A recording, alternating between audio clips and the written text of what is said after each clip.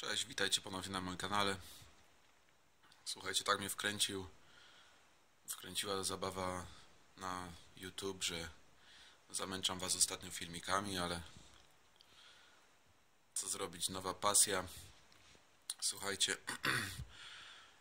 Eee, atak glonów, zielenic. Bardzo dziwne, bo akwarium stoi na ziemi ogrodowej i wydawałoby się, że substancji w supie wody, substancji odżywczych powinno być masa, ale nie wiem czy błąd, czy nie błąd. Tak zaczopowałem tą ziemię, że NO3, NO2, fosforany, wszystko to jest na zero i no jak to się dzieje, że mam glony, no Ziemia nie przedostaje się do supa wody, a miglony wystąpiły. I słuchajcie, tak sobie myślę, przespałem troszkę chyba moment, kiedy powinienem zacząć nawozić e, sub wody i rośliny. A Powinienem w sumie zaufać e, sobie i własnym odczuciom. Tym bardziej, że badałem tą wodę i, i no, rzeczywiście ta woda jest uboga. Pierwsze braki zauważyłem już na bakopie. Liście do połowy są prawie przeźroczyste. No słuchajcie, według mnie, zresztą nie tylko mnie, nie odkryje tutaj Ameryki żadnej, e, kluczem do prowadzenia akwarium bez glonów jest zdrowy i bujny wzrost roślin. Tak mniemam i u mnie te rośliny stanęły. Nie miały się czym odżywiać. Sam zresztą zauważyłem, że jak wcześniej był taki boom, że one zaczęły rosnąć, zwłaszcza mały henio, tak y, stanęły momentalnie i no tą lukę wykorzystały glony. Nie jest tego może jakoś yy, wielka ilość, ale alarm się pojawił, także mam teraz z czym walczyć. Nie wiem, słuchajcie też. No bo jest tak z tą ziemią. E, zwłaszcza na początku, przez, przez miesiąc czy przez dwa, powinno się bardzo często e, robić podmianki.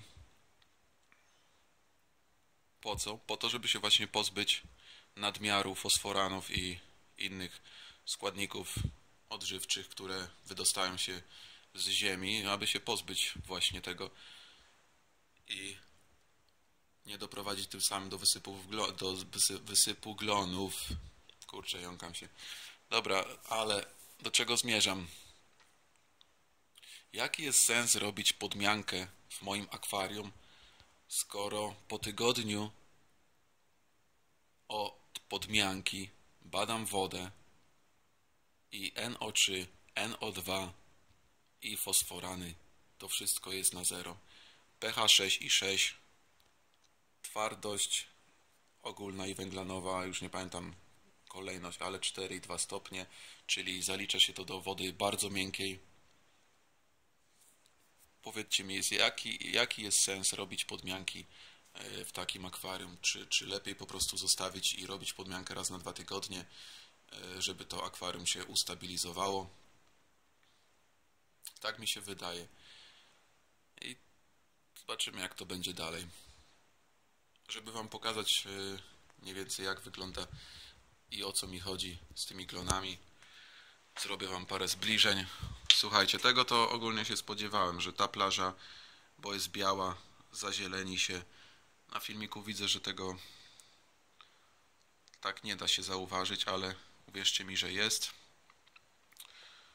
Korzenie też się troszkę zaziele, zazieleniły, ale to mi akurat nie przeszkadza, bo bardzo fajnie, naturalnie wyglądają. Gdzie jeszcze mogę Wam pokazać te glony? Na szybach tak samo się pojawiło. A, czy będzie widać? No, jest widać, nie? O, teraz wyostrzyło. Coś takiego tutaj na tylnej szybie Też chwilę potrwa, zanim się pewnie wyoszczy. Albo i nie wyoszczy się. W każdym razie są to... A jest coś takiego, taki nalot. Widzicie. Także mówię, nie ma tego dużo, ale alarm jest. Generalnie od dwóch dni zacząłem nawozić y, mikro i makro. Podaję też karbo. No i zobaczymy. Widzę, że po tych dwóch dniach rośliny jakby troszkę ruszyły do przodu. No jestem dobrej myśli, że jak ruszą rośliny, tak cofną się glony. No i to wszystko na ten temat. Słuchajcie, tutaj wielkiej filozofii tak naprawdę nie ma. Rośliny rosną szybko i zdrowo. Nie ma miejsca na glony. Bomblowanie też elegancko jest. Także wszystko to zaczęło rosnąć. Słuchajcie, no dobra, no to tyle na dziś i do usłyszenia w kolejnym filmiku. Trzymajcie się, cześć.